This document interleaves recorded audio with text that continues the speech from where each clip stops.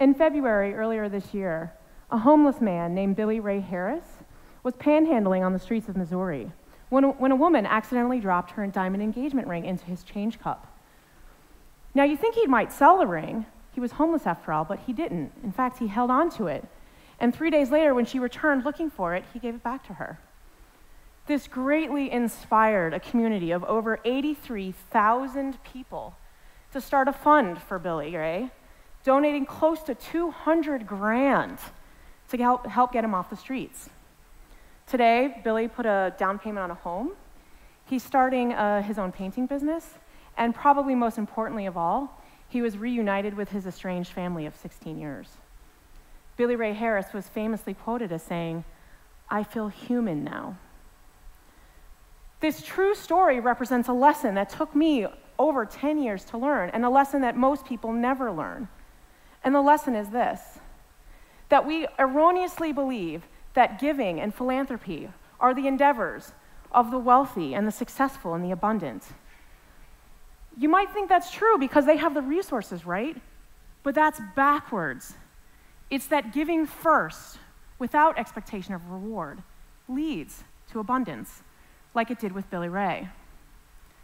My lesson in this, in this area began about 11 years ago. I was an entrepreneur. I had just come off a failed startup. I was broke, and I needed a job. But I came across a really interesting company that helped entrepreneurs like me succeed.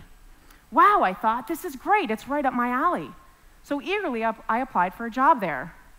However, I was grossly underqualified, so I wasn't all that surprised when I got a rejection letter. But as an entrepreneur, I was undaunted. I stalked the CEO and I told her, I'm not going away. I made a proposition. I said, let me volunteer. Let me volunteer my time in exchange for being able to hang out and learn. I'll do this while I'm looking for a job. I'm not expecting you to give me a job. I just want the opportunity to learn. Well, that giving first, that volunteering for me became pivotal because after three months of being there, I was offered a full time job. That job thrust me into an amazing community of brilliant entrepreneurs, venture capitalists, and angel investors. It took me from isolation and desolation into an amazing community of people. When I was there, I found my groove. I was quickly promoted and ended up with a key role in that company. And it is there that I met a person that would be pivotal in the next section of my life, a man by the name of David Cohen. So, David Cohen was a local entrepreneur that was doing some really, really interesting things. And when he told me about a project he was working on, I eagerly jumped at the chance to get involved. Once again, I volunteered my time to try to help him out. Well, that second time of volunteering also turned out really well for me because David later offered me a, a position, a full time position, in his next company called Techstars.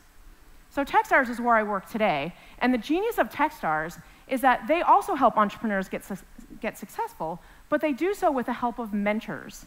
So, mentors are CEOs, experienced CEOs, experienced executives, investors, and community leaders that donate their time without expectation of reward or compensation to help these early startups grow and get to the next level. Now, these just aren't ordinary people. These are highly successful, highly busy people, like the CEO of Twitter, that are giving freely of their time without expectation of reward to for profit companies. This has been absolutely tremendous. So, with, with these people donating this time, it's been, it's been a, built an entire community of givers. And the, one of the very first things that we noticed was all these mentors giving, that giving was contagious. As mentors gave freely, more super successful people volunteered, raised their hands wanting to become mentors too. Uh, investors started giving freely of their time. Lawyers and accountants started helping out for free. Mentors helping startups turned into mentors helping other mentors, turned, turned into startups helping mentors, turned into startups helping startups. People were falling all over their, each other trying to help one another. It was beautiful. And, but what happened was we got so much, in, we got so many requests for help, we actually had to turn people away. We couldn't handle it all. Then the successes started rolling in. One thing that we noticed was mentorship totally changed the equation for startups. The national average is that 95% of startups, succeed, startups fail, but with companies that got mentorship through us, 90% of them succeeded. wow, this is amazing. It was taking entrepreneurs who were previously so broke they were sleeping on sofas and eating ramen noodles, and it turned them into millionaires as their companies were bought. And the mentors were, and all, that all created much opportunity, and the mentors were in the center of that opportunity. So these people that were gave first now became on the receiving end of wonderful chances. Things like being invited to be a, a CEO of a company. There were deals being closed. There were sales being made. There were jobs being created. There were speaking engagements, there was press releases, there were there was so many opportunities to go around, and everybody was sharing in that. So the cool thing was that pretty soon the word got out, and other communities around the world started reaching out to us. They wanted to replicate this Give First mentorship model in their own community. Well, I've been with Techstars for five years now, and I've seen firsthand the impact that Give First can has on a, has on a community. And it's taught me a very, it's, it, it was revelational to me. Because what I learned was, is that giving first, without expectation of reward or compensation, results in abundance. Abundance isn't the cause of giving, it's the result. So now we're in this amazing community of giving, and it's why I'm here today. It's why I want to talk to you, right? Because when we give first, giving first is like a butterfly effect. When a butterfly flaps its wings in China, I don't know if you guys know the butterfly effect, but when it, says that when a butterfly flaps its wings in China, it will cause a hurricane somewhere else. Giving first creates tidal waves of support. What happens is, is when you support somebody, when you give first without expectation of reward or compensation, you surprise them, you delight them, you inspire them, you create gratitude, you create a person that wants to help you, you create a person that wants to help others.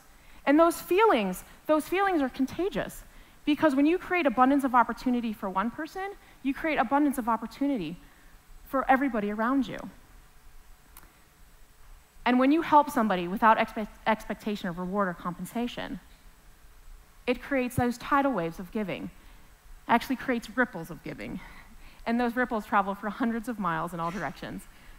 And those ripples will eventually turn into tidal waves that will come back to you and lift you up and carry you forward.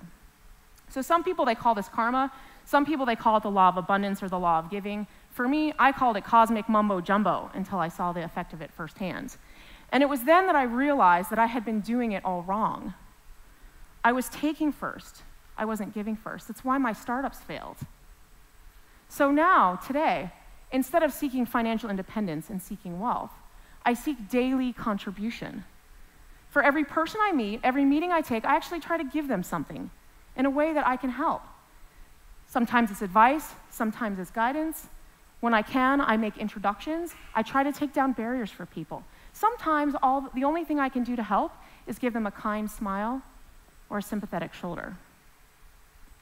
But the effect of this has had on my life has been absolutely tremendous.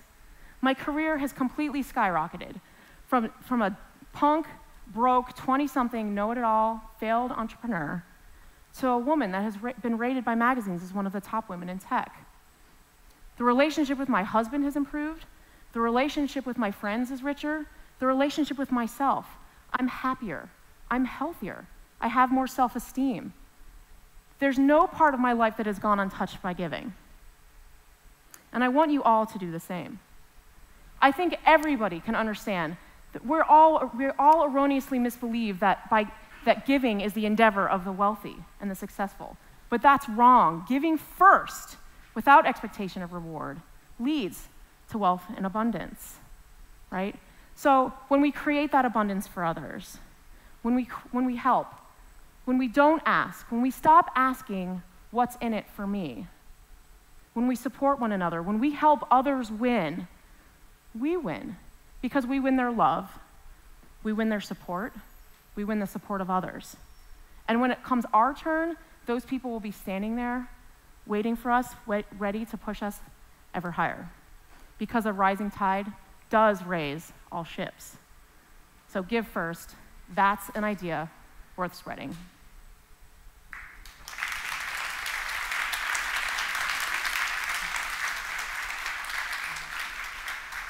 Now, in the spirit of Give First, I have a little present for you. So, you guys should have all gotten an envelope.